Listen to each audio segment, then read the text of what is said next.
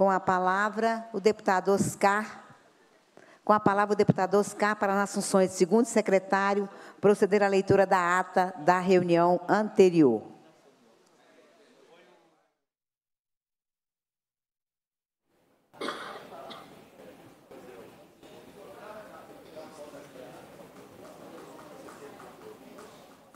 Olá, boa tarde. Duas horas 14 minutos. Nós falamos ao vivo, direto do plenário da Assembleia Legislativa de Minas Gerais, onde acaba de ser aberta a reunião ordinária desta terça-feira.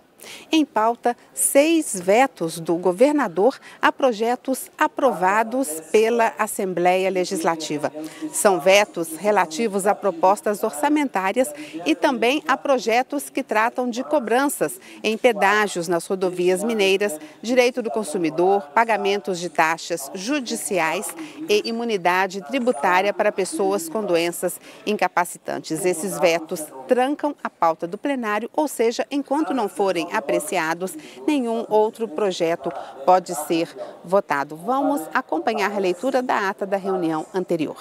Martins Leite, a deputada Ana Paula Cirqueira, o deputado Coronel Henrique, a deputada Ione Pinheiro e os deputados professor Cleiton e Sargento Rodrigues. O presidente, nos termos do, do artigo 2 do trigésimo e do regimento interno, dispensa a leitura das atas das três reuniões anteriores, as quais são dadas por aprovadas, e as subscreve. Informada a destinação da reunião, compõe a mesa os excelentíssimos senhores Ronaldo Luiz Nazário de Lima, o Ronaldo Fenômeno, o desembargador Marcos Lincoln dos Santos, superintendente administrativo de governança do Tribunal de Justiça do Estado de Minas Gerais, representando o presidente e o desembargador José Arthur Filho, desembargador federal Bosson Gam... Bozon Gamboge, representando o Tribunal Regional Federal da Sexta Região, Gabriel Lima, Céu do Cruzeiro, o deputado professor Cleiton, autor do requerimento que deu origem a esta homenagem. Registrada a presença de convidados, ouve-se ouve o hino nacional. Após a exibição de vídeo, fazem uso da palavra o deputado professor Cleiton e, após entrega de título, o senhor Ronaldo Luiz Nazário de Lima. Isto posto, a presidência profere palavras alusivas ao evento, agradece a presença de todos e, cumprido o objetivo da convocação, encerra a reunião, convocando as deputadas e os deputados para a ordinária de terça-feira, 2 de abril, às 14 horas, com a ordem do dia a ser publicada. Levanta-se a reunião. Obrigada, deputado Oscar. Em discussão a ata, não havendo quem sobre ela se manifeste, dou a por aprovada. A presidência passa a receber. Desculpe. Vamos lá. Com a palavra, o primeiro secretário, João Vitor, de, é, para proceder à leitura da correspondência. Mensagem do excelentíssimo senhor governador do Estado de Minas Gerais, Romeu Zema Neto. Mensagem número 122 de 2024, encaminhando a prestação de contas referente às ações executadas pela administração pública em relação ao exercício fiscal de 2023 mensagem 123 de 2024, encaminhando os convênios que especifica sobre benefícios fiscais relativos ao ICMS celebrados no âmbito do Conselho Nacional de Política Fazendária, o CONFAS. Mensagem número 124 de 2024, encaminhando as medidas exonerativas adotadas pelo Poder Executivo relativas à proteção da economia do Estado, no que se refere à concessão de regime especial de tributação em matéria de ICMS, referente ao quarto trimestre de 2023. Obrigada, deputado João Vitor. A presidência passa a receber proposições e a conceder a palavra aos oradores inscritos para o grande expediente. Com a palavra, o deputado Marquinho Lemos. Com a palavra, o deputado Marquinho Lemos. Em sua ausência, com a palavra, o deputado Duarte Bexi.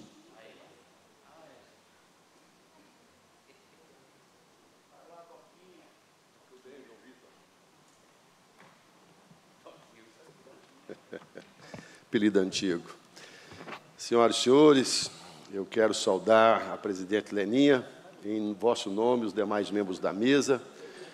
Saudar aqui a todos os colegas, deputados e deputadas, em especial o amigo doutor Maurício, do nosso sul de Minas, que preside a Comissão de Defesa dos Direitos da Pessoa com Deficiência.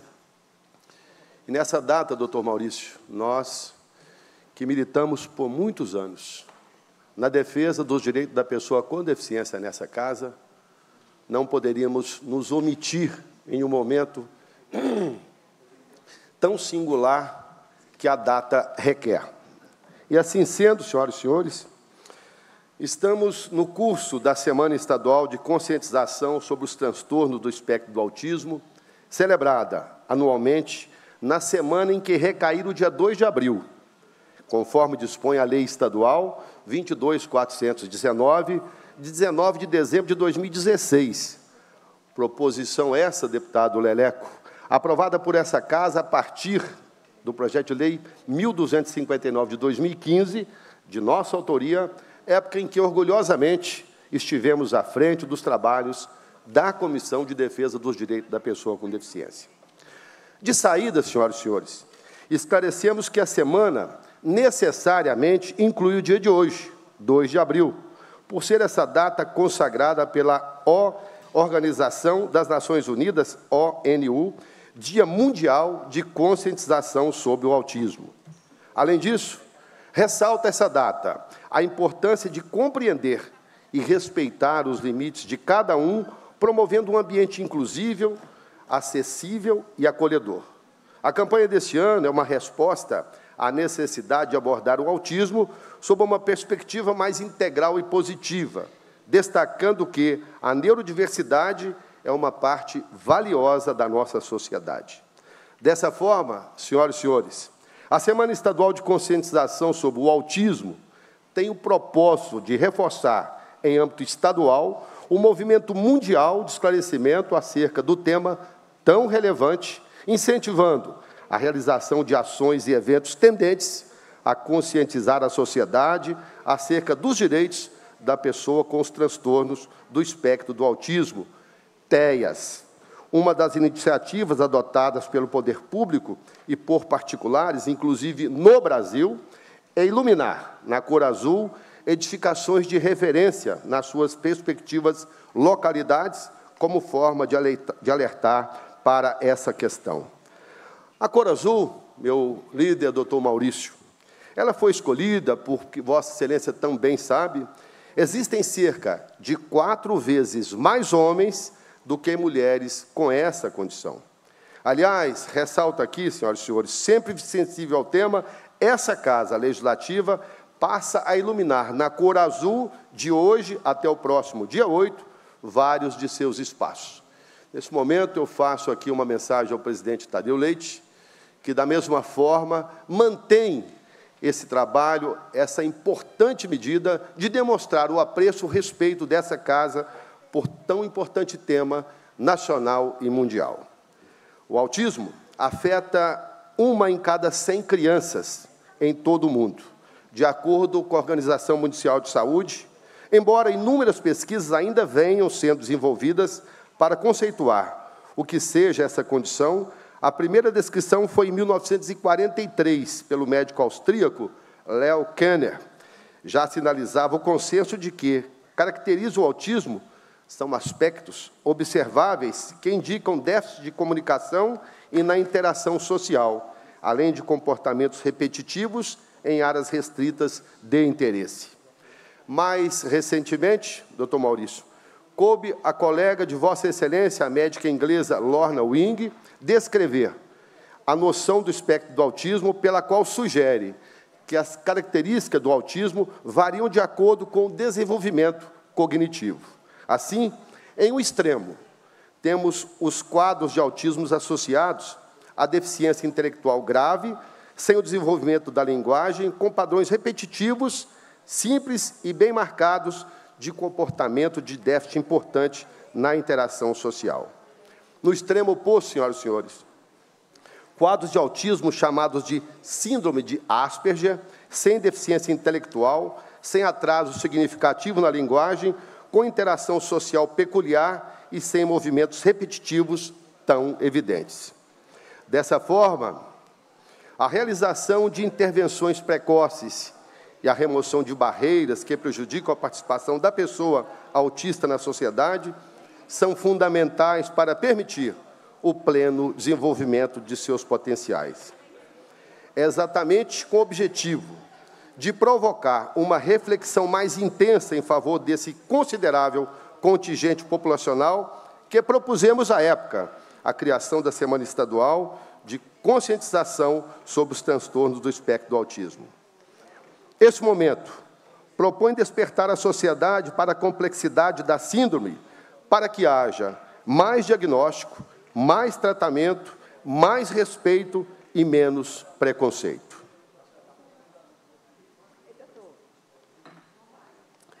Nesse sentido, vale ressaltar a notável atuação da Defensoria Pública de Minas Gerais.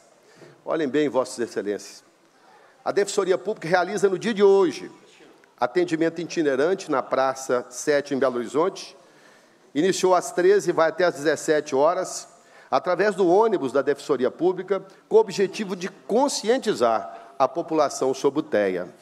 Aproveite essa oportunidade de fala para, inclusive, parabenizar o amigo e notável defensor público, Luiz Renato Areias, coordenador estadual da pessoa idosa e da pessoa com deficiência, cuja experiência e bravura na causa tanto nos inspiram.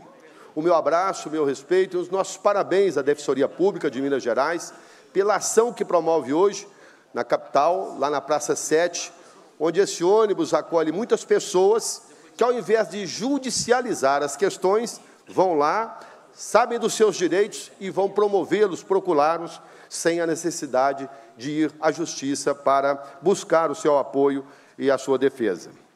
Assim, senhoras e senhores, nessa semana especial, renovamos o apelo para que o autismo seja efetivamente compreendido como uma questão de saúde pública, pelo número de pessoas que atinge e pelas nossas dificuldades em lidar com o espectro.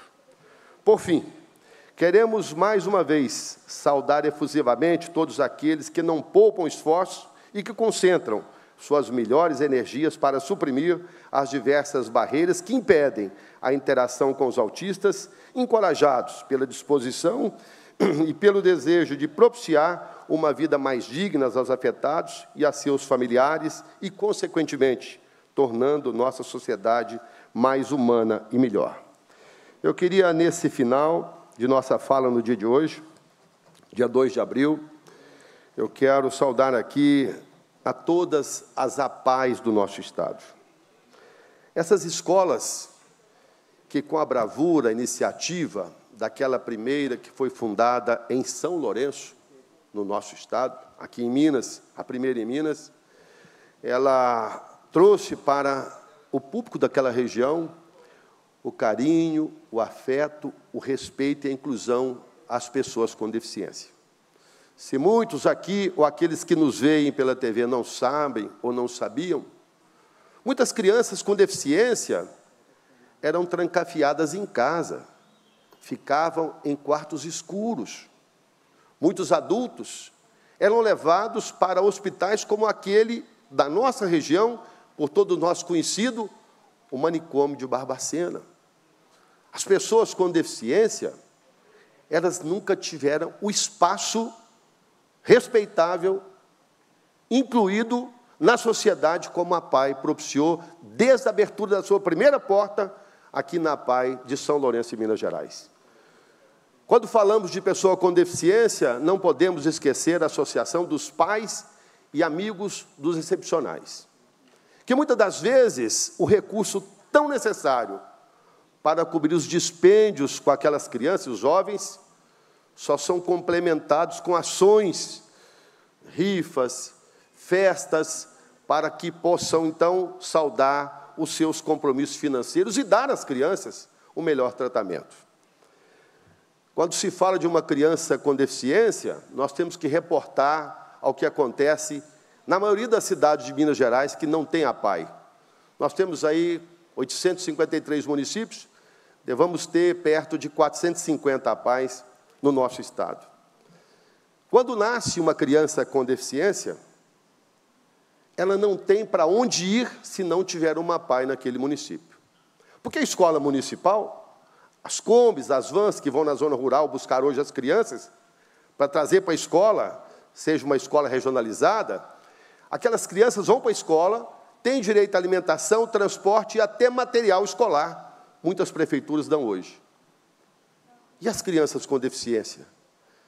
De quem é a responsabilidade? O Estado tem cerca de 20 escolas especiais em toda Minas Gerais.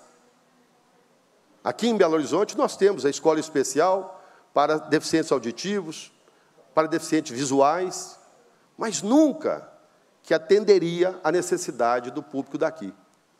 Eu volto a fazer uma pergunta aos nobres padres, às senhoras e senhores deputados de quem é a responsabilidade do poder público estadual, municipal, federal, de uma criança que nasce com deficiência. Se não tiver uma pai, não tem para onde ir. Então, que nós não percamos o dia de hoje, não só com a questão do autismo, que essa semana é especial, mas para sempre termos nessa casa um debate pleno, consciente, responsável, acerca do apoio que o Estado e os municípios devam colocar à disposição das crianças com deficiência. São seres humanos iguais a todos e merecem o mesmo carinho, o mesmo respeito e a inclusão necessária. Andamos muito por essa Minas Gerais e existem escolas estaduais que foram construídas ou foram nominadas escolas inclusivas que deveriam receber as crianças com deficiência de outras escolas para estarem nessa, que nem acessibilidade tem. Nem acessibilidade tem. A PAI, ao contrário. Um professor apaiano parece que ele nasce para servir a criança com deficiência. Parece que ele cria força, resistência, amor e coragem para enfrentar os problemas. Já fizemos nessa casa, quando o Diniz Pinheiro era o presidente, um trabalho muito bonito com todas as APAES, audiências regionais, para ouvir as suas dificuldades, se era de espaço, se era de financiamento de itens que possam ajudar na, na, na, nas crianças a serem é, recuperadas e trazidas para a nossa realidade. Fizemos. E terminou aquele mandato, mudou-se o governo e nós não tivemos condições de implementar esse estudo feito em toda Minas Gerais.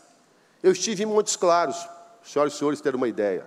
Eu fui na audiência de Montes Claros, participei de outras, e nós dividimos o Estado e outros colegas foram conhecer a realidade de cada pai.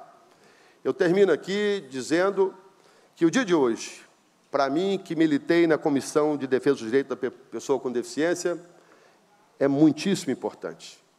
Não vamos pensar em dar o recurso através de nossas emendas, não é muito pequeno perto do que devemos fazer. É estudar o que está acontecendo e propor modificações. Esse é o nosso grande comprometimento com essa data. Por isso é que, ao invés do dia do autismo, nós criamos uma semana, de 2 a 8, para que pudéssemos, através de palestras, de debates, de reuniões com os setores representativos, discutir as necessidades e buscar soluções. Esse foi esse é o grande objetivo dessa semana, da qual tive orgulho de ser o autor dessa lei. Cumprimento aos demais pares, as senhoras e senhores, esperando que possamos unir forças em torno dessa causa que é muito justa. Um abraço a todos e meu muito obrigado. Muito obrigado, deputado Duarte. Aproveito sua fala para fazer aqui a menção e, e a homenagem e a saudação à memória de Eduardo Barbosa, ex-deputado federal por Minas Gerais e o pai das APAES nesse país, figura das mais queridas, das mais respeitadas nessa causa, que infelizmente nos deixou ano passado, mas deixou junto um legado extraordinário por essa causa que é tão relevante. Então, é, peço licença aos pares para prestar essa homenagem ao saudoso Eduardo Barbosa e, e a todos os seus que seja inserido nos anais da casa. Muito obrigado, deputado. É, para o seu pronunciamento, o deputado Cristiano Silveira.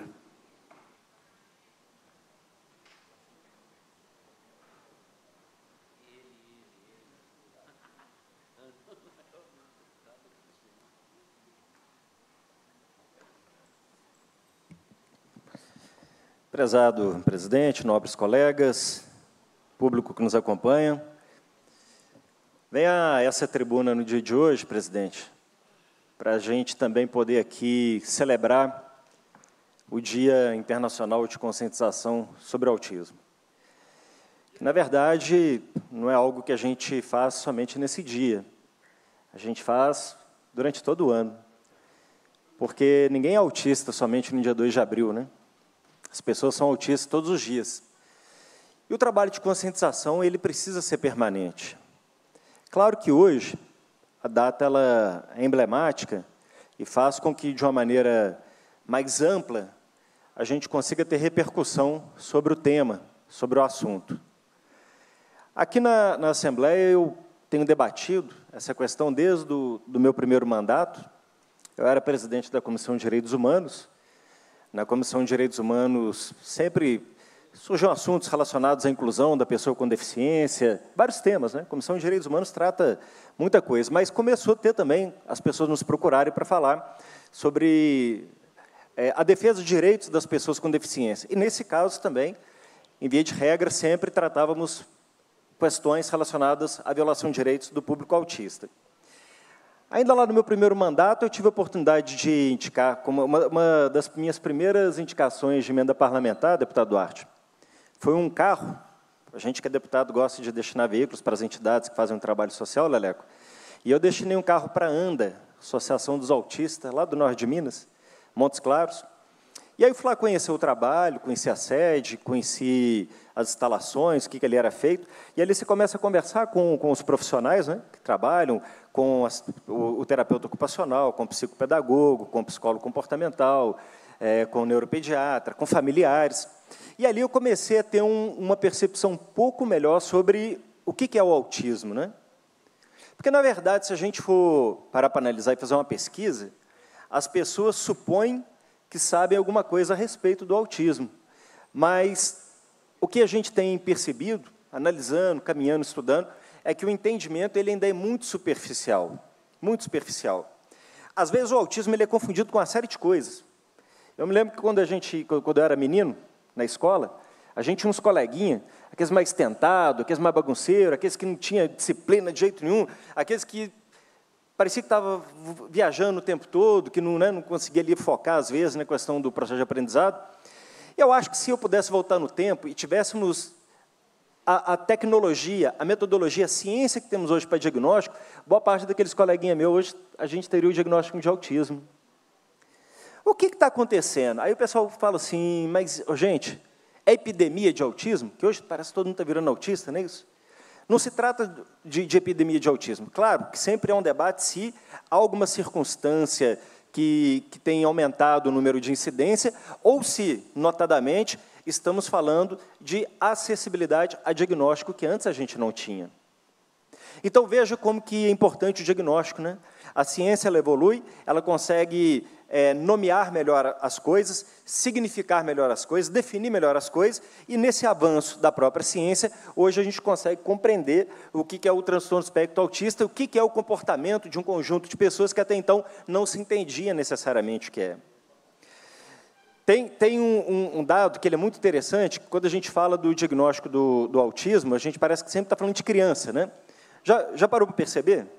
Que a gente fala de autismo, o que é a primeira coisa que vem na sua cabeça da imagem de autista? Uma criança autista. Por quê? Porque a gente está falando de diagnóstico. Mas o que temos de autistas adultos entre nós sem diagnóstico são milhões e milhões e milhares de pessoas. E aí agora a gente começa a ter o chamado diagnóstico tardio, em via de regra, quando um dos pais costuma ter o diagnóstico de autismo quando o filho já foi diagnosticado, e ali você tem um diagnóstico tardio. Esse diagnóstico está ajudando as pessoas a se conhecerem, porque muita gente fala assim, eu não fazia a mínima ideia do que ocorria comigo, da angústia que eu vivia por, por não me entender, achar que eu era diferente, e hoje, através do diagnóstico, você consegue entender que você está ali dentro do espectro do autismo. Então, esse, esse trabalho lá na Comissão de Direitos Humanos e essa experiência com a ANDA e com outras associações foi fazendo esse processo de imersão é, na, na, minha caminhada aqui na Assembleia. Aí depois me procuraram e falaram assim, Cristiano, você podia entrar com a lei para nós que é para o atendimento prioritário aos autistas, assim como tem um atendimento prioritário para gestante, mobilidade reduzida, pessoa idosa, pessoa com deficiência, é importante que garanta também a acessibilidade, o atendimento prioritário para os autistas. Aí eu comecei a estudar a respeito. Primeira constatação que nós chegamos, aí a Comissão de Constituição e Justiça à época falou assim, ó, isso aqui você não está inovando não, porque a Lei Berenice Piana de 2012, ela já considera o autista sujeito de direito, assim como as pessoas com deficiência. Então, ele, de certa forma, já, já está contemplado na lei que normatiza o regulamento do atendimento prioritário. Mas tínhamos um problema, que a ausência da, da, do símbolo indicativo, ele não, não, não criava essa condição do acesso ao direito. Porque você tinha ali na placa indicativa o, o cadeirante, a pessoa com a bengalinha, né, a pessoa na gestação, mas faltava o, o, o símbolo do autismo, porque as pessoas que sabem do que nós estamos falando, como que é o, perfil do autista, é você, na maioria das vezes, você não vai identificar apenas com um contato visual, de aspecto físico. Pode passar por uma pessoa, abre aspas, né, normal. Então, a indicação do símbolo ela foi fundamental para informar os autistas, seus familiares e aquelas pessoas que, que trabalham em atendimento público e privado que ali ela teria que atender um público em especial, ela teria que compreender quem é esse público. Olha que interessante. E aí, o deputado Duarte, foi, foi muito legal que eu achei assim que a gente teria uma, uma dificuldade de fazer a lei caminhar, porque essas coisas de inclusão sempre têm um nível de resistência, né? E foi muito legal que rapidamente, pelo menos aqui em BH, que eu comecei a perceber isso, Leleco, shopping centers, aeroportos, laboratórios, supermercado, tudo começou a ter as placas indicativas. E hoje é lei a nível federal, né? O atendimento prioritário para os autistas. E aí, nisso tudo, Duarte, do primeiro mandato, que eu né, te contei essa parte dessa história, para o segundo mandato, eu já contei isso aqui na tribuna, mas eu faço questão de dizer, é, o Bernardo, meu menino, nasceu e com um ano e oito meses foi diagnosticado com autismo.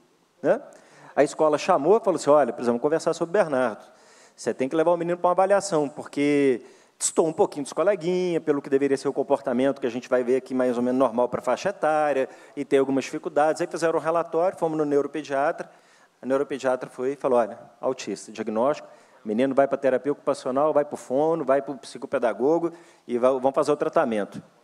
É, nunca é fácil você receber uma notícia que, você, que seu filho tem algum, alguma deficiência. Família nenhuma é uma informação fácil.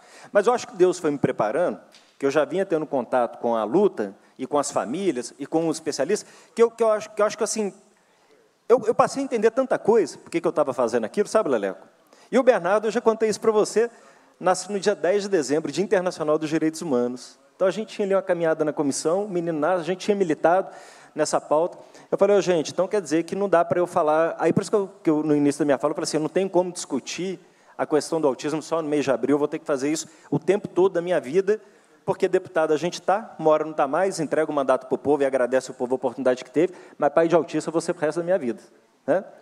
E aí, por isso que essa pauta ela, ela é muito forte para a gente aqui. A gente tenta, junto com os colegas, assim como o deputado Duarte, deputada Maria Clara, deputada Nayara, deputado é, professor, o doutor Maurício e vários outros colegas, sempre está trazendo aqui né, essa, essa, essa pauta. Isso, para nós, é fundamental, porque a gente precisa fazer com que esse legislativo seja um exemplo da inclusão social e da visibilidade desse público. Alguém fala assim, mas, deputado, vocês estão falando só do, do autismo e, e as demais deficiências? Falamos também. Já tive projetos aprovados para deficientes visuais aqui, faturas em braille, correspondência oficial. Agora, mais recente, já estamos com um projeto pronto para o plenário, que fala da, da, do desconto em PVA para as pessoas com síndrome de Down. O projetinho está bacana, vai vir para o plenário. Mas o que acontece com os autistas? Dentre é, o público invisibilizado dentro da comunidade das pessoas com deficiência, talvez é o mais invisibilizado ainda, justamente por essa dificuldade de caracterização, identificação visual de um aspecto né, de limitação, por exemplo, física, como ocorre nas deficiências físicas. Então, a gente precisa avançar um pouco nesse sentido.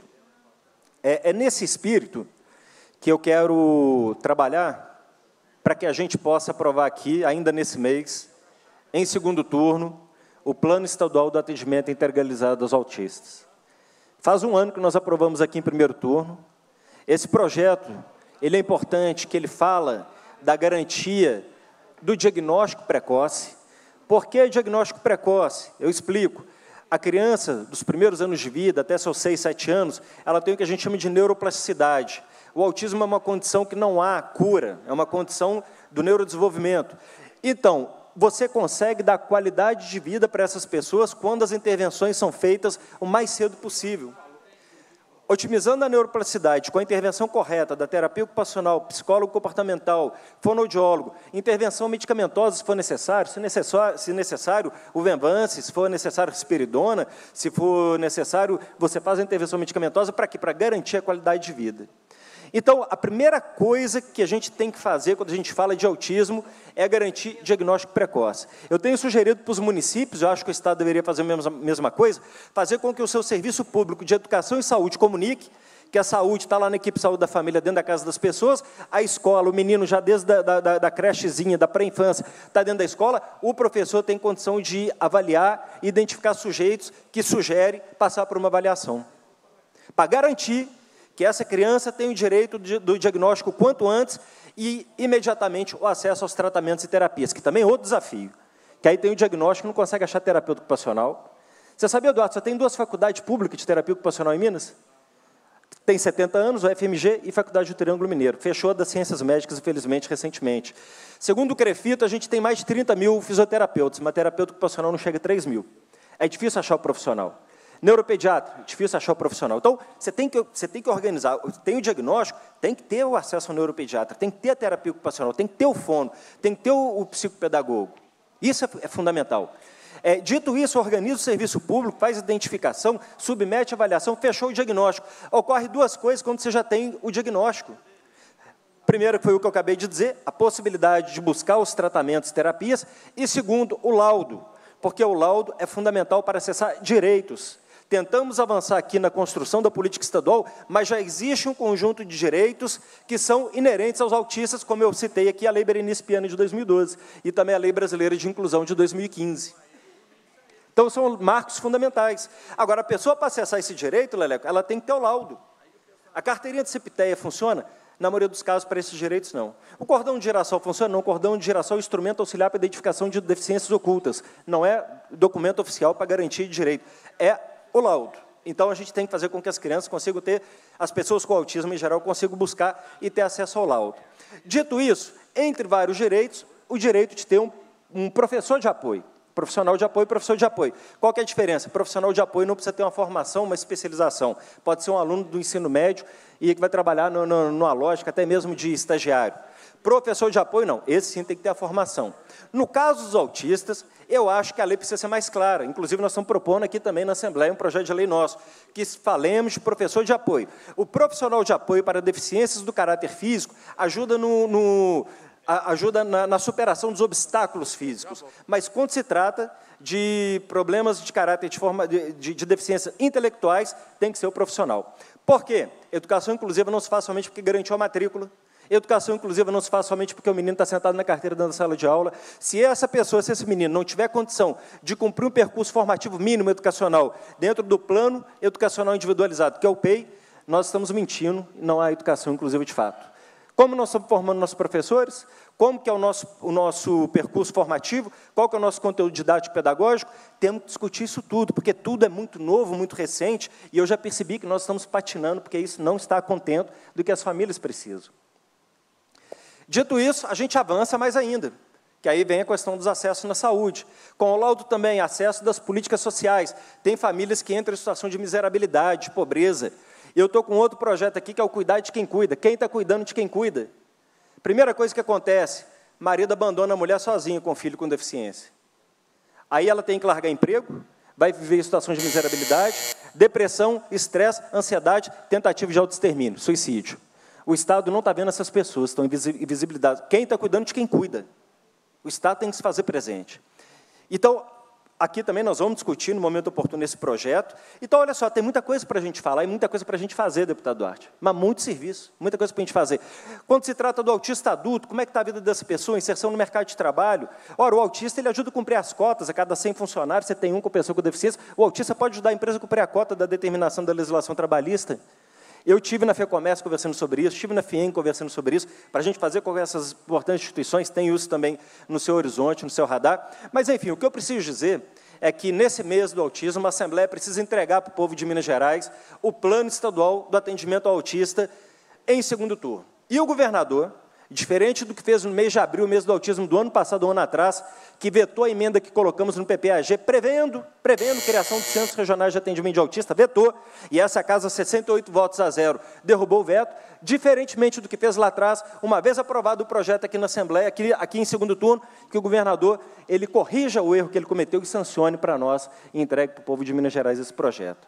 É um projeto que a gente sabe que vai ser um marco na vida das pessoas, das famílias, assim como eu. Só que eu não sirvo de exemplo, porque, bem ou mal, como deputado, eu não, não posso ser hipócrita, eu tenho acesso a condições que a grande maioria das famílias não tem. Então, o mínimo que eu tenho que fazer, se eu tenho decência, é deixar alguma coisa para as pessoas da lógica do direito da política pública.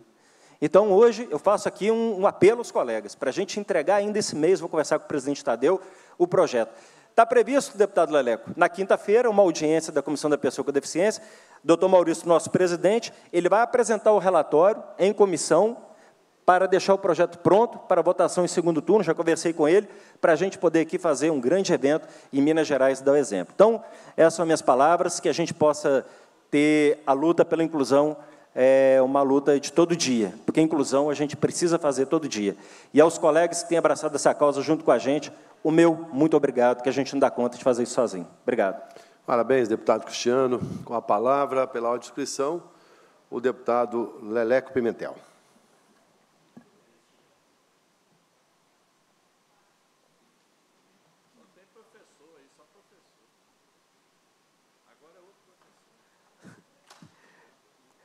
Saudação de boa tarde a todos. É verdade, deputado Elismar.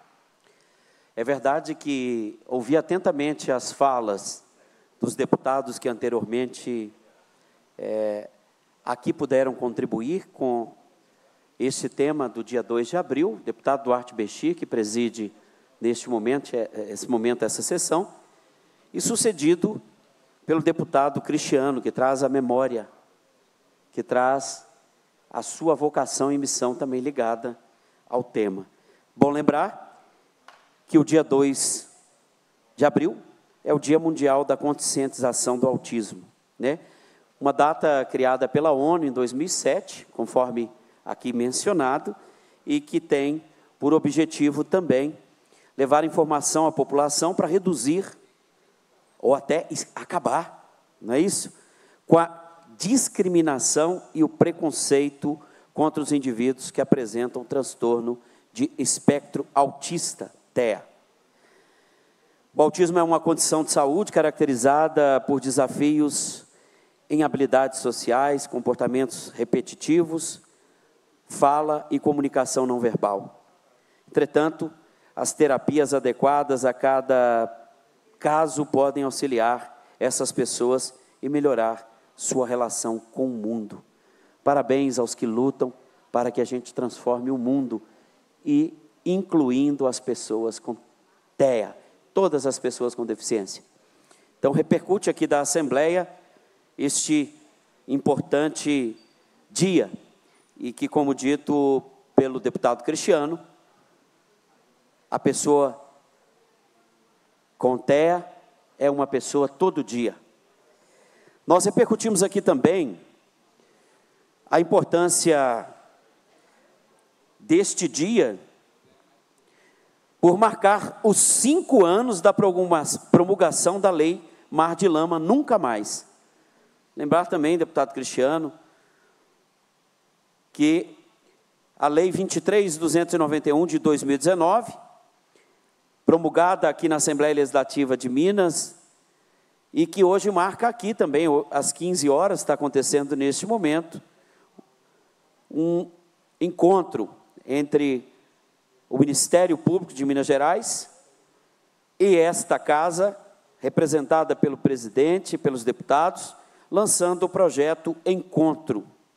2 de abril é também, então, dia da promulgação, cinco anos da lei Mar de Lama Nunca Mais. Infelizmente, não foi o que nós vimos nesses cinco anos. O Mar de Lama ainda continua nas barragens que, mesmo não rompendo, rompem com as comunidades, com os vínculos das comunidades, expulsando, sobretudo aqueles que têm sentimento de pertença, vida, história ligadas a essas comunidades. Por isso eu quero repercutir aqui também, deputado Cristiano, que esta casa vai acolher um debate público onde nós vamos tratar das questões dos impactos e das perspectivas, tanto do regime de recuperação fiscal apresentado pelo governo, tanto quanto pela repactuação que está sendo coordenada pelo Conselho Nacional de Justiça e pelo governo federal, quanto às ações que correm na Inglaterra e também na Holanda, recentemente anunciadas, sobre a bacia do Rio Doce. Então, vai ser no dia 6 de abril, quando nós teremos aqui convidados o governador do Espírito Santo, Renato Casagrande, o governador de Minas Gerais, para que dê explicação do que quer com os recursos da repactuação, porque o que vimos acontecer em Minas Gerais foi gastar o dinheiro do que aconteceu em Brumadinho, com o crime da Vale em Brumadinho, com todos os municípios, para aquilo que nós chamamos, e hoje temos certeza, a compra da reeleição do governador Zema. Estarão presentes também convidados o senador Rodrigo Pacheco, que tem assumido essa pauta, junto com o presidente desta casa, deputado Tadeuzinho, e convidadas as universidades, as assistências técnicas aos atingidos, as ATIs, convidados os atingidos e atingidas, os movimentos, movimentos atingidos por barragem, MAN, a Rede Igrejas Mineração, todos convidados também, o relator da Comissão Externa de Mariana e Brumadinho, deputado Rogério Correia, o relator, o subrelator da Comissão de Barragens, deputado federal Padre João. Então nós teremos um grande debate, não na perspectiva de quem olha pelo retrovisor, deputado Ricardo Campos, mas na perspectiva do impacto dessas decisões políticas, repito, tanto o regime de recuperação fiscal, que agora já começa a ter desenhos de um novo contorno apresentado para todo o país, onde Haddad e o presidente Lula fazem questão desse pacto federativo, deste respeito também aos estados, e Minas Gerais é o centro desse debate, uma vez que o governador não apresentou absolutamente nada a esta casa e tentou surfar na onda e na empurrando, naquilo que é de empurrar com a barriga o pagamento dessa dívida. E a conta aí está. Aumentou a dívida quase 50 bilhões de reais e disse que o Estado estava nos trilhos até ter que anunciar no fim do ano passado que nós estávamos com o Estado quebrado. E agora o governador tenta novamente se reinserir na cena política quando perdeu o protagonismo. O governo federal apresentou uma proposta que repercutiu, porque a proposta de redução dos juros, com a aplicação direta dos recursos no ensino médio técnico, é uma proposta que incide naquilo que o governo Lula vem fazendo, ao recriar mais de 100 institutos federais e em Minas Gerais o anúncio de oito desses institutos, deputado Elismar, incluindo aqui a nossa região né, metropolitana e, no caso, também do norte do Jequitinhonha, com o anúncio da criação daquele instituto em Minas Novas. E a gente saúda porque é também uma inovação importante, é o campus que vai cuidar também das populações quilombolas, nosso povo geraizeiro, nosso povo tradicional, nosso povo esquecido nas políticas públicas, que foi lembrado, eu dito aqui, é, digo que de modo especial, o camp de Minas Novas.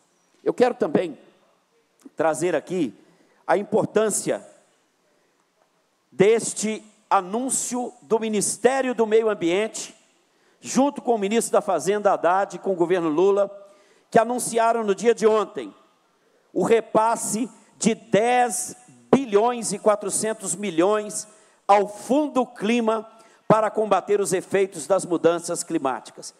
Eu e o deputado federal Padre João estivemos ontem numa entrevista, lembrando também do, do papel que o Juntos para Servir, os dois mandatos numa fusão, tem tido no sentido de repercutir e propor políticas públicas que sirvam para combater os efeitos das mudanças climáticas, lembrando do que são as barraginhas, lembrando do que são também estas propostas anunciadas pela ministra Marina Silva e o presidente do BNDES, Aloysio Mercadante, que assinaram nesta segunda-feira, 1 de abril, dia de ontem, o contrato de repasse de 10 bilhões, doutor Jean, e 400 milhões ao Fundo Nacional sobre Mudança do Clima, o Fundo Clima.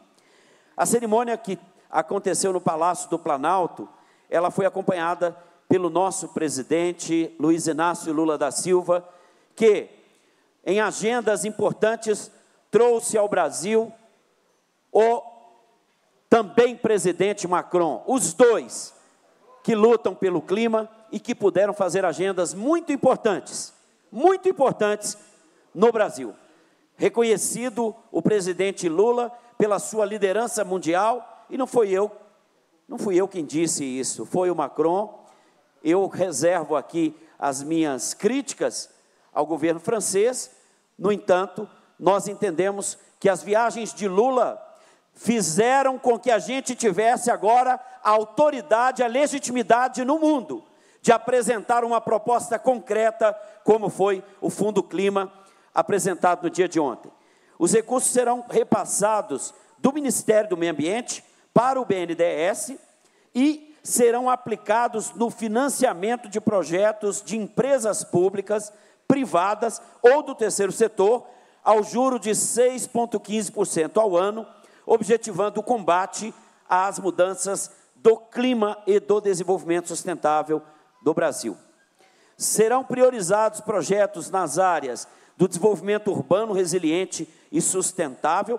Quero lembrar que nós teremos na segunda-feira, às 10h30, uma audiência pública convocada em parceria com os movimentos populares, com segmentos que discutem o direito à cidade aqui na Assembleia, para a retomada da sexta Conferência Nacional das Cidades, que foi interrompida, doutor Jean, quando deram golpe contra o povo e tiraram uma mulher que legitimamente foi eleita presidente e que acabaram com a participação popular, dentre as destruições feitas ali por aqueles que deram o golpe junto com Temer, acabaram com o Conselho das Cidades, destruíram o processo das conferências em curso.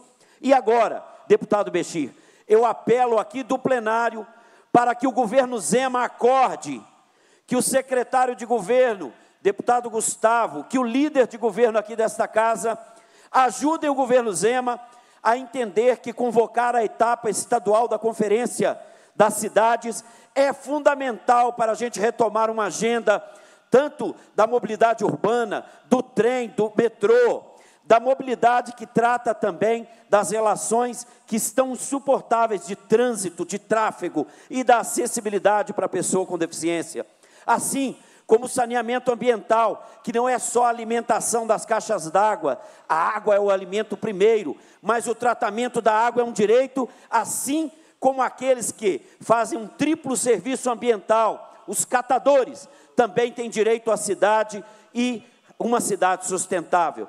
O que dirá então dizer do planejamento, da, da regularização fundiária, dizer também da importância de tudo que a cerca este ambiente urbano e a cidade como um direito. Por isso, apelo novamente para que o governo Zema possa, ouvindo os clamores dos movimentos populares, a convocação que o Ministério das Cidades, que o governo federal fez, da sexta Conferência Nacional das Cidades. Falo em nome de todos os deputados, porque eu sei que todos os deputados aqui dessa casa têm pauta referentes ao direito à cidade, e, portanto, nos somamos à contribuição da sociedade. Segundo as 10h30, esperamos que todos, desde o CREA, o CRES, o CAL, esperamos que os movimentos populares urbanos, sejam os movimentos de moradia, sejam movimentos por direitos, sejam também aqueles e aquelas que constroem o Sistema Nacional de Desenvolvimento Urbano, possam se fazer presentes na casa, neste ato que tem por objetivo o clamor para que a sexta conferência estadual seja convocada e assumida pelo governo de Minas Gerais como uma etapa fundamental. E volto a tratar das prioridades anunciadas pelo Ministério do Meio Ambiente. O desenvolvimento urbano resiliente e sustentável, que eu já havia dito, a indústria verde, doutor Jean. Nós estamos tratando aqui do desenvolvimento a partir da indústria verde, que já é uma realidade no mundo e que, para tratar com as mudanças climáticas, é um imperativo moral, ético da nossa existência no tempo em que nós estamos vivendo, onde os mais pobres pagam o preço caro toda a mudança climática do, Brasil, do mundo, quando nós assumimos esse modo de vida. Aqui também foi anunciado pela ministra Marina Silva o transporte coletivo e mobilidade verde. Vejam como é importante a gente tratar o tema da, das florestas nativas e recursos hídricos e o serviço de inovação verde.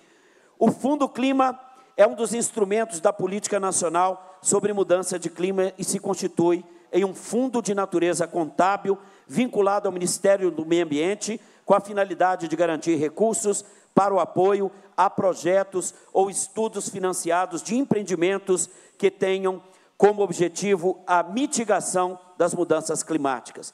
Eu creio que com esta pauta, nós, pelo direito à cidade, mas também com o dever de consciência do cuidado com a casa comum, encerramos com a campanha da fraternidade que nos convidou a todos à amizade social, ao cuidado com todos os seres na sua diversidade e, portanto, Parabéns ao governo Lula por lançar este fundo clima com 10 bilhões e 400 milhões para o Brasil. Viva a participação popular e convidamos a todos para debater e ajudar com que o governo Zema acorde para convocar a sexta Conferência Estadual das Cidades. Muito bem, deputado Aleco Pimentel. Pela ordem de inscrição, com a palavra, o ilustre deputado o doutor Jean Freire, que disporá de até 15 minutos para a sua manifestação.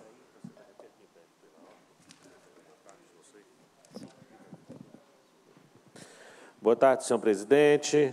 Quero cumprimentar Vossa Excelência, cumprimentar os colegas deputados, servidores aqui dessa casa, público que nos assiste aqui presencialmente pela TV Assembleia, e as redes sociais por todo o Estado de Minas Gerais. Senhor presidente, primeiro eu gostaria de pedir um minuto de silêncio pelo falecimento do irmão do ex-prefeito da cidade de Araçuaí, o ex-prefeito doutor Armando Jardim, colega médico, o irmão dele que faleceu ontem, Jean Carlos Jardim Paixão, e também um minuto de silêncio pelo Adelso Soares Chaves, um grande amigo, que foi vereador na cidade de Taubim, onde eu também fui vereador, ele bem anteriormente começou sua vida política em 1972, foi vereador, ajudou na formação do sindicato na nossa querida cidade de Taubim, Sindicato dos Trabalhadores Rurais de Taubim, é, e deixa família, filhos, todos amigos, muitos cresceram junto comigo em Taubim, eu quero aqui deixar um grande abraço a toda a família. Peço aí um minuto de silêncio também pelo amigo, seu Adelso Soares Jardim. É regimental. Façamos um minuto de silêncio em homenagens póstumas às pessoas indicadas pelo deputado Jean Freire.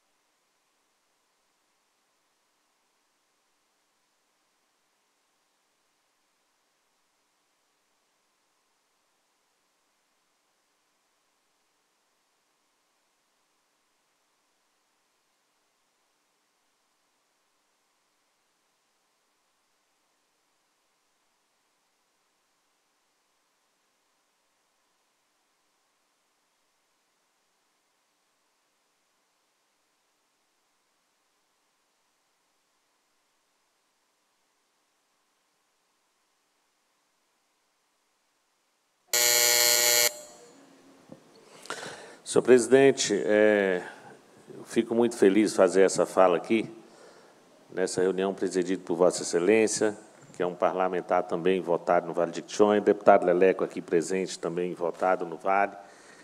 E, mais uma vez, eu subo, subo a essa tribuna, mais uma vez, para fazer mais um desabafo, uma denúncia, um clamor pela situação das nossas estradas no Vale de Quichonha. Essa semana, deputado Electo, de uma maneira muito interessante, nós iniciamos, agora no final de semana, a Semana Santa, eu vi um, chegou até a mim, circulou pelas redes sociais, um vídeo do governador do Estado andando de carro pelas estradas. Né? Achei muito interessante o vídeo. Governador, aliás, tem um projeto de lei de minha autoria e, pelo meu entender da fala do governador, ele deve concordar com o meu projeto de lei. Tem um projeto de lei de minha autoria falando que as autoridades do Estado, secretários, e aos visitar a região, inclusive nós, deputados também, nós deveríamos ir de carro e não de avião. Esse projeto está tramitando aqui nessa casa. Sei que vai ser difícil aprovar, ser aprovado, mas fica é, essa situação, porque eu acho realmente que é a maneira da gente ver a atual é, situação do nosso povo, a real situação. Evidentemente que no momento de urgência, que tem que viajar de avião, sem sombra de dúvida. Mas em visitas programadas, eu acho que deveria ir de carro, sim. O governador soltou um vídeo, ele viajando de carro. Não sei o percurso, quantos quilômetros era, se foi de avião até uma cidade, ali pegou um carro para fazer o vídeo, não sei. Não quero fazer esse julgamento. Mas no vídeo ele fala as vantagens de andar de carro, deputado Leleco. Olha as vantagens, você vê os serviços acontecerem. E foi lá e cumprimentou os, as pessoas que estavam tampando os buracos da estrada. Se eu não me engano, na região do Noroeste. Fica aqui um convite ao governador para andar de carro nas estradas do Jequitinhonha. Fica o convite a ele, para ir de carro até o Jequitinhonha. E que ele pudesse perguntar, inclusive, aos pacientes da hemodiálise... Só um minutinho, deputado, é para saudar a presença do deputado Wellington Prado, aqui no recinto, que pertenceu a essa casa por muitos mandatos e eleito presidente da Comissão de Direito da Pessoa com Deficiência, e para nós é uma grande conquista ter Vossa Excelência representando também esse segmento importante em Brasília. Seja sempre muito bem-vindo. Retorno a palavra, deputado doutor Jean Freire. Bem-vindo também, deputado, e parabéns pelo trabalho que Vossa Excelência fez aqui nessa casa e na pessoa com deficiência, e também o trabalho que Vossa Excelência faz na pessoa portadora de câncer, né, por todo o Estado. Parabéns você e seu irmão, estamos juntos nessa luta também. Então, eu dizia, e fica aqui o convite ao governador para ir nas estradas do Jequitinhonha e tantas outras estradas de Minas. Andar de carro mesmo, não é descer do avião e ir até ali no localzinho, não. Tá? É fazer uma viagem como eu faço toda semana de 850 quilômetros para ir ao Vale do Jequitinhonha e volto de lá. E pergunte, já que ele disse que tem tantas vantagens de andar de carro, pergunte aos pacientes que acordam quatro da manhã lá de Jordânia, para chegar em hemodiálise em Itaubim, 11 da manhã, que entra na máquina de hemodiálise, sai por volta de duas da tarde, às 14 horas, e chega lá em Jordânia às 20 horas. Pergunte a eles se eles acham vantagens em andar de carro nas estradas do Jequitinhonha. Buracos e buracos e mais buracos. Pergunta aos pacientes de Bandeira, de Mata Verde, se é vantagem. Por coincidência, assim que eu acabei de ver o vídeo do governador, eu passei por uma cratera de deve ter 30 metros de comprimento, uns 10 metros de largura e de profundidade uns 30, 40 metros. E eu mandei também, não, não dava para não fazer. Não é provocação, senhor presidente, mas não tem como não fazer. Não dava para eu perguntar ali diante daquela cratera à noite, eu vindo para cá mais uma vez, dizendo: governador, tem três anos que eu passo aqui e mando lhe avisar isso. Tem três anos e você fala que vantagem andar de carro. Vantagem para quem? Para quem? Vantagem para quem disse que não usaria avião, se fosse eleito governador e usa avião? Então, é, fica esse chamado para o governador.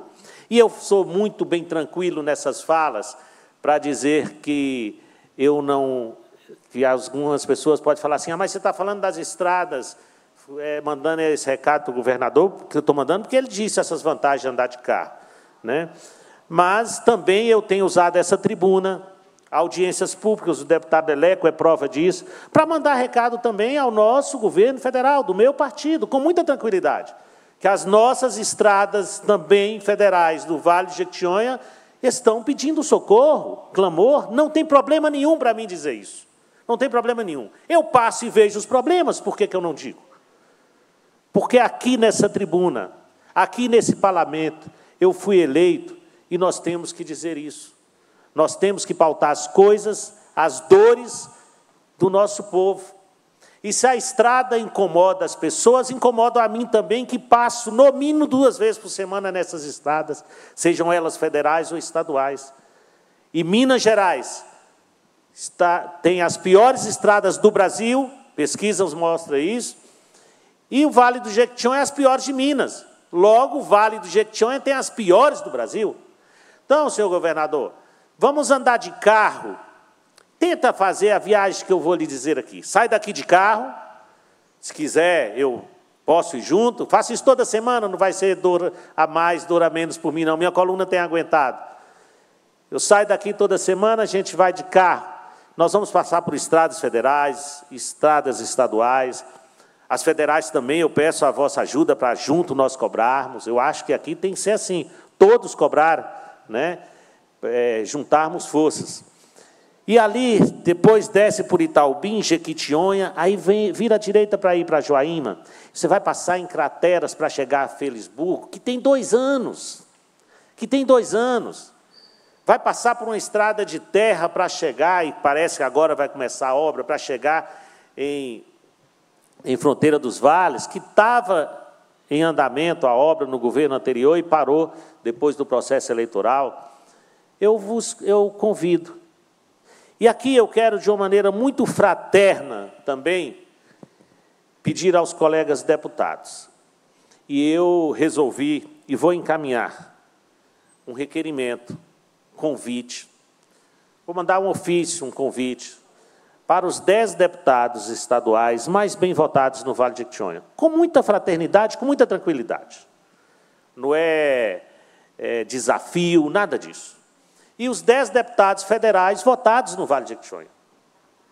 Eu sou o que moro lá, mas eu não sou o único votado lá. E a gente propôs, como eu propus, deputado Leleco, por exemplo, nós temos projetos do governo estadual sendo votado aqui. Por que nós não podemos dizer que nós também podemos propor ao governo estadual o seguinte: olha, nós temos processo de obstrução, são várias situações de processo de obstrução. Então, vamos propor o seguinte: olha, nós queremos debater as estradas, governo. Está querendo debater as estradas? Nós vamos debater as estradas. É legítimo nós colocarmos aqui processo de obstrução enquanto o governo não quiser debater as estradas. Então, fica o convite. Aqui, publicamente, eu quero convidar os dez deputados estaduais, os dez federais mais bem votados no Vale de Jequitinhonha. Falo isso com muita tranquilidade, estou diante de dois parlamentares que eu sei que trabalham e prestam trabalho ao Vale.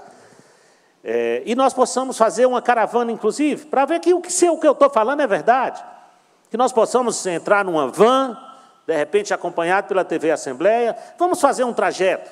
Vamos sair daqui para o Vale de Jequitinhonha, vamos andar a estrada. E aos federais também, porque é fundamental eles também nessa luta, porque nós temos estradas federais também. Vamos propor um requerimento e vamos nós juntos ao governo mostrar as situações dessas estradas. Gente, quando chega um parlamentar, que vossas excelências sabem o meu trabalho, e ao ponto disso, sabe o que é toda semana você, e, e, e não tem espaço, deputado Eleco, você chega em um velório, as pessoas te cobram. Você chega na feira, as pessoas te cobram. Porque quem ele vê é você lá. Ele não vê outros. E aí ele cobra de quem vê, de quem aparece. Com certeza, Vossas Excelências, quando vão em reuniões nas bases, eles cobram de vocês. Deputado, o que, pode fazer pela estrada, deputado Bexi? Deputado Leleco, o que pode fazer? E aí eu acho que nós devemos, fica aqui essa proposta, com muita tranquilidade, nós devemos sentar entre nós, deputados, e ver o seguinte: qual a ideia que cada um tem? Outro dia, cada viagem minha, eu vou pensando pelas estradas que tipo de clamor eu faço. Cada viagem. E não poupo ninguém. Não poupo ninguém. Cheguei ao ponto de uma viagem há poucos dias dizer assim: Denite, não tem nem como correr nas estradas, gente. Às vezes eu coloco o celular ali, fico o celular ali e vou dizendo. Denite, duas da manhã. Imagina o que é sair daqui quinta e chegar duas da manhã. Eu passo por isso. E aí passar naquelas crateras, que o pessoal da comunicação da Assembleia já viu muitos vídeos meus e em audiências posta alguns vídeos da gente fazendo lá. Aí passa ali. Aí uma, uma, uma eu mandei para o Denite. Aqui, Denite, pensem nos filhos, pensem nas pessoas que usam essa estrada para ir a Porto Seguro passear. Não quer pensar? Pense nos filhos que vêm de uma vez ao ano visitar os seus pais. Não quer pensar neles? Pense nos estudantes de Tinga, de Taubim, que vão para o Instituto Federal. Pensem, não quer pensar? Pense nos que vão para a universidade. Não quer? Pense naqueles que vão carregar os seus produtos da agricultura familiar. Não quer pensar neles? Pense nos pacientes de hemodiálise. Não quer pensar? Pense pelo menos em vocês, que amanhã ou depois é vocês que podem passar aqui. Aí outra vez eu, tenho, eu tive outra ideia, um carro à minha frente, eu gravando, indo Jequitinhonha para Itaubim. Olha, o buraco está te incomodando? Incomoda a mim também. Eu não sei que partido você é, e não importa o partido que nós somos. Olha, você virou o seu carro saindo da estrada para fugir do buraco, eu também vou virar o meu. Você está saindo totalmente fora da estrada, não se preocupe. Está infringindo a lei de trânsito, mas o buraco não deixa você passar. Olha, eu vou dar sinal de farol para ver se você para. E dei, o cara parou, eu falei, olha, de onde você vem? Da Bahia. As estradas lá são assim? Não. Aí eu disse para ele, boa viagem. Mas é uma maneira que a gente faz de dizer boa viagem, porque logo ali na frente você vai pegar mais buraco até Araçuaí. E agora, nessa vinda, eu tive essa ideia. Falei, vou pedir oficialmente, porque já fiz isso em audiência, Vossa Excelência estava na audiência, deputado Leleco, oficialmente, escrito, registrado, uma reunião entre os dez deputados estaduais, os dez federais mais bem votados no Vale de Jequitinhonha. Não quero saber o partido político que é. Não quero saber a ideologia política que é. Quero saber se ele pensa que a estrada que incomoda o agricultor, que a estrada que faz o produto chegar mais caro às feiras, que faz o arroz nós ser mais caro lá do que aqui, o óleo ser mais caro, se ele concorda com isso. Então fica aqui esse pedido, para que nós possamos programar uma reunião fraterna, solidária, para que nós provocamos, possamos provocar tanto o governo do Estado e quanto o governo federal. Mas não poderia terminar minha fala reforçando o convite, governador Zema. Se Vossa Excelência acha que é tão bom andar de carro pelas estradas, pare de andar de avião, venha andar de carro. Muito obrigado. Pauta importante, deputado, conta com o nosso apreço, nosso carinho. Com a palavra, pela descrição, o deputado Elismar Prado, que disporá de até sete minutos para a sua manifestação. Deputado Elismar Prado.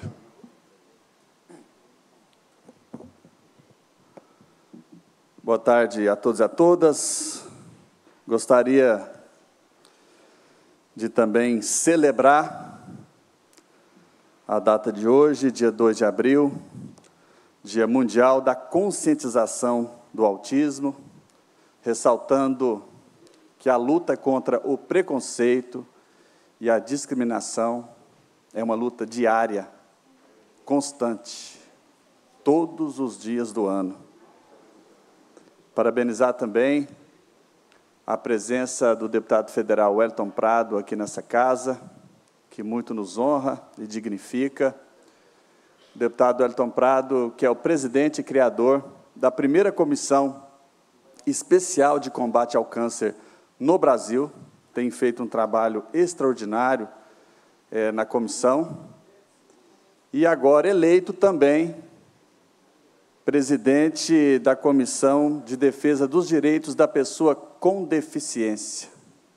E nós não temos dúvida que na Comissão de Defesa da Pessoa com Deficiência ele fará um trabalho tão brilhante quanto o que já vem realizando na comissão de combate ao câncer. É um, muita dedicação, muito trabalho. Até o momento já foram cerca de 160 milhões destinados à oncologia em Minas Gerais. Trouxemos os centros de prevenção ao câncer, dois grandes centros do Hospital de Amor para Minas Gerais. Isso é histórico e inédito, prontos para inaugurar. A inauguração agora já muito em breve. As carretas de prevenção, fazendo aí milhares e milhares de exames nos municípios de Minas. E a gente sabe que existe uma interface, uma relação muito próxima do trabalho dessas duas comissões. A Comissão de Combate ao Câncer, bem como a Comissão de Defesa dos Direitos da Pessoa com Deficiência. Porque agora nós vamos iniciar um grande trabalho, né, e eu que sou presidente da Comissão de Prevenção ao Câncer aqui da Assembleia, em conjunto com o deputado Elton Prado, é nós que trouxemos o Hospital de Amor para Minas Gerais, criamos o Instituto de Oncologia da Santa Casa de BH com a carreta, que já está pronta, já rodando os municípios, e fizemos uma grande ampliação do Hospital do Câncer em Uberlândia, com equipamentos de ponta, bem como recursos em todas as regiões do Estado, é, no sentido de avançar é, no tratamento é, da pessoa com câncer né, e dos investimentos na oncologia. E o grande trabalho agora, empenho, é pela construção dos centros de reabilitação física, auditiva e visual, e que vai atender aí as pessoas com deficiência. A gente sabe, por exemplo, né, o paciente com câncer que passa pelo tratamento tão doloroso, muitas vezes né, fica com sequelas graves e que ele precisa da reabilitação. Então, grande empenho e trabalho agora do deputado Elton Prado, que assume, além da presidência da Comissão de Combate ao Câncer, a Comissão de Defesa dos Direitos da Pessoa com Deficiência, e com esse trabalho, essa missão de construir em Minas Gerais os centros avançados de reabilitação física, auditiva, visual, que irá atender a pessoa com autismo, bem como todas as pessoas com deficiência. Então, aproveito essa data para saudar, parabenizar o deputado Elton Prado, que já tem um reconhecimento de lideranças de todo o Brasil pelo trabalho extraordinário e brilhante que tem feito à frente da Comissão de Combate ao Câncer, trazendo grandes investimentos para Minas Gerais, com o meu apoio, mas não só isso, trabalhando também o marco regulatório, os, os projetos, as leis, conseguimos aprovar, que foi inédito também, aí esse marco regulatório que cria, é, que dispõe né, sobre a jornada do, do, paciente, a política nacional é, de combate ao câncer no Brasil, que trata de toda a jornada do paciente, quimioterapia, radioterapia, cirurgia, os medicamentos, apoio psicológico, equipamentos, ou seja, é, estabelece aí toda a jornada do paciente oncológico. E vai travar uma grande luta pela criação do Fundo Nacional é, de Combate ao Câncer para poder financiar é, toda essa luta. Porque quem tem câncer tem pressa e a gente precisa né, realmente conseguir investimentos que sejam adequados para poder fazer esse enfrentamento e para poder, sobretudo, salvar vidas, né? que em grande medida é, nós temos chances de cura, como câncer de mama, 95%, e outros é, tipos de câncer de neoplasias também. Então é preciso avançar não só na legislação, investimentos. O deputado Elton Prado tem feito muita diferença no Estado. Trouxemos dois grandes centros, as carretas que estão rodando o Estado, né, a ampliação de hospitais, Instituto de Oncologia da Santa Casa de BH, né, que é referência para o Brasil, que já tem a carreta que é 100% custeada é, com emendas que nós colocamos, de minha autoria, de autoria do deputado Wellington Prado também. E agora, sem esquecer também das pessoas com deficiência, nesse novo trabalho à frente da Comissão é, de Defesa dos Direitos da Pessoa com Deficiência, ressaltando o dia de hoje, né, que é o Dia Mundial da Conscientização do Autismo. e todo dia é dia de luta de combater a discriminação e o preconceito. Parabéns a todos. Obrigado, presidente. Muito bem, deputado, saúdo Vossa Excelência pela importante manifestação no dia de hoje. Se faz presente, mesmo que um pouco de fora, o ex-deputado Célio Moreira, que por muitos anos militou nessa casa, a quem eu quero agradecer a visita e, ao mesmo tempo, em nome dos demais pares, uh, deixar aqui a nossa manifestação de pesares pelo passamento do irmão Rui, que trabalhava conosco em nosso gabinete e que Deus o levou, mas que deixou para todos nós que teve a oportunidade de conviver com o Rui um exemplo de vida, de dedicação. Serviu aqui e agora foi servir a Deus. A nossa manifestação a Vossa Excelência, aos demais familiares, pelo passamento do irmão Rui Moreira, que trabalhava, militava também em nosso gabinete. Obrigado pela visita. Esgotado o prazo destinado à primeira parte, a presidência passa à segunda parte da reunião, com a primeira fase do ordem do dia, compreender os atos da presidência, as comunicações e apreciação de pareceres, requerimentos e indicações. Estão abertas as inscrições para o grande expediente da próxima reunião. Atos da presidência e comunicações. Decisão da presidência. A presidência acolhe e determina o cumprimento de acordo de líderes que a totalidade dos membros do colégio de líderes deliberaram seja prorrogada até o dia 10 do 4 24 o prazo para recebimento de emendas ao projeto de lei 1978 de 24, que autoriza a abertura de crédito suplementar no orçamento fiscal do Estado e altera o artigo 2 da Lei 24678, de 17 de janeiro de 2024.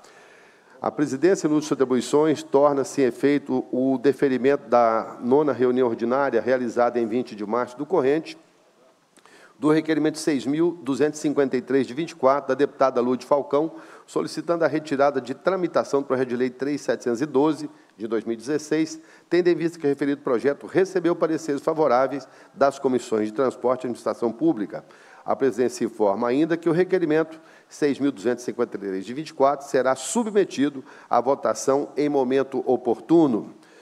A presidência, nos suas atribuições, reforma o despacho anterior e determina que o projeto de lei 1939, de 24, do deputado Dr. Maurício, desanexado para o projeto de lei 1938, de 2015, do deputado Elismar Prado, Sendo assim, a presidência encaminha o projeto de lei 1939 de 24 à Comissão de Justiça da pessoa com deficiência e de administração pública para aparecer nos termos do artigo 188, combinado com o artigo 102 do Regimento Interno. A mesa da Assembleia Legislativa de Minas Gerais, no de atribuições, que lhe confere o inciso 18 do artigo 79 do Regimento Interno e atendendo ao disposto do artigo 2 da Lei 22.858 de 2018, decide realizar consulta pública sobre o projeto de lei 3797 de 22, que declara o ano de 2023 como o centenário do nascimento do, escrito, do escritor Fernando Sabino. Por favor, fazer a devida correção. Assinados os membros da mesa. Comunicações das bancadas do PSD e PP e das representações partidárias Republicanos, Avante, União, PMN, Novo e POD indicando o deputado Carlos Henrique como líder da maioria. Do deputado Cássio Soares, líder do Bloco Minas em Frente, indicando os deputados Binda Ambulância, Rafael Martins, Fábio Avelar e Grego da Fundação e a deputada Nayara Rocha como vice-líderes do referido bloco. Ciente Publique-se, cópia as comissões e as lideranças do deputado Vitório Júnior, informando sua renúncia ao cargo de vice-presidente da Comissão de Desenvolvimento Econômico. Ciente Publique-se. A presidência informa que foram aprovados conclusivamente, nos termos do parágrafo único do artigo 103 do regimento interno, os requerimentos de números 6.264 a 6.271 e 6.328 a 6.332, todos de 24, da Comissão de Segurança Pública, 6.272 a 6.273 e 6.338 a 6.345, todos de 24, da Comissão de Educação, 6.275 a 6.277, 6.279 a 6.280 e 6.352, também todos de 2024, da Comissão de Assuntos Municipais. 6.283, 6.286, 6.287 e 6.289, todos de 24, da Comissão de Esporte. 6.290 e 6.292 de 24 da Comissão de Trabalho, 6.293 e 6.295 também de 24 da Comissão de Cultura, 6.296 de 24 da Comissão de Agropecuária, 6.298 a 6.304 do corrente ano da Comissão de Direitos Humanos, 6.308, 6.309 e 6.312, também de 24, da Comissão de Administração Pública, 6.325, 6.327, também do corrente ano da Comissão de Meio Ambiente, 6.348 de 24 da Comissão de Saúde, públicos para os fins do artigo 104 do Regimento Interno, sala de reuniões 2 de abril de 24. Comunicações. As comissões permanentes comunicam a apreciação conclusiva da matéria das seguintes reuniões. Comissão de Desenvolvimento Econômico, reunião extraordinária de 5 de 3 de 24. Comissão de Direito da Mulher e da Administração Pública, reuniões ordinárias de 19 de 3 de 24. Comissões de Minas e Energia, do Trabalho, Direitos Humanos e de Saúde, reuniões ordinárias de 20 de 3 de 24. Comissão de Agropecuária, reunião extraordinária de 20 de 3 de 24. Comissão de Administração Pública, reunião ordinária de 26 de 3 de 24 Comissões de Meio Ambiente e de Segurança Pública, reuniões ordinárias de 26 de 3 de 24. E comissões de Assuntos Municipais, reunião ordinária de 27 de 3 de 24. Requerimentos despachados pela presidência. Requerimento 1880 de 23 da deputada Marli Pacheco e outros solicitando a convocação de reunião especial para comemorar os 76 anos do Estado de Israel. Requerimento 6.126 de 24, da deputada Ione Pinheiro e outros solicitando a convocação de reunião especial para homenagear a Associação Evangélica Beneficente de Minas Gerais, a EBMG, pelos 77 anos de fundação. A presidência defere os requerimentos em conformidade com o inciso 21 do artigo 132 do Regimento Interno. Requerimento 5.998 de 24 do deputado Sargento Rodrigues, solicitando que o projeto de lei 406 de 23 seja encaminhado à comissão é, seguinte que foi distribuído, uma vez que a Comissão de Administração Pública perdeu o prazo para emitir parecer. A presidência defere o requerimento de conformidade com o inciso 7 do artigo 232, combinado com o artigo 140 do Regimento Interno. Requerimento 6.282 de 24, deputado Sargento Rodrigues, solicitando a retirada de tramitação do projeto de lei 533 de 23, que se encontra anexado ao projeto de lei 582, 588 de 2019. A presidência, da mesma forma, defere o requerimento em conformidade com o inciso 8 do artigo 232 do Regimento Interno. Requerimentos é, submetidos à votação. Requerimento 705-2023 da deputada Beatriz Cerqueira, em que solicita que seja o projeto de lei 406 de 23 distribuído à Comissão de Educação para aparecer. Se houver oradores inscritos, não tem orador inscrito, em votação o requerimento, as deputadas e deputados que aprovam como se encontram, está aprovado. Requerimento 6.253, 2024, da deputada Lúcia Falcão, solicitando a retirada da tramitação do projeto de lei 3.712, de 2016, do deputado Eli Tarquini, que se encontra pronto para a ordem do dia. Na hora, em votação, na hora dos inscritos, é, votação do requerimento, os deputados e deputadas que aprovam apenas como se encontram, aprovado. Aqui não.